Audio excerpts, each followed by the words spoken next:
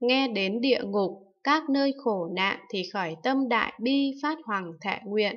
Nghe nói đến việc trời người thù thắng vi diệu thì biết đó đều là pháp vô thường. Nghe sự tán thán công đức của chư Phật thì siêng năng tinh tấn khiến cho sớm được viên mãn.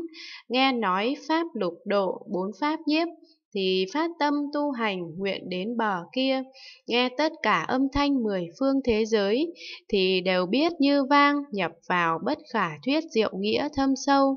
Đại Bồ Tát từ lúc ban đầu phát tâm cho đến đạo tràng, thường nghe chánh pháp chưa từng tạm ngừng nghỉ mà luôn không bỏ việc giáo hóa chúng sinh, đó là mười.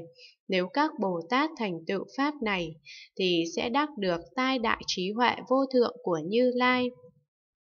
Phật tử Đại Bồ Tát có 10 thứ mũi, những gì là 10?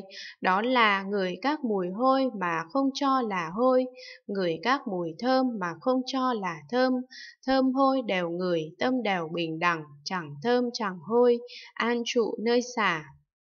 Nếu ngửi mùi y phục, tọa cụ và thân thể của chúng sinh có mùi thơm hôi, thì biết được chúng sinh đó có tham sân si bằng nhau. Nếu ngửi mùi hương các hầm mỏ, cây cỏ thì đều phân minh rất rõ như ở trước mắt. Nếu ngửi mùi hương chúng sinh dưới đến địa ngục A Tỳ, trên đến cõi trời hữu đỉnh thì đều biết được việc làm trong quá khứ của họ.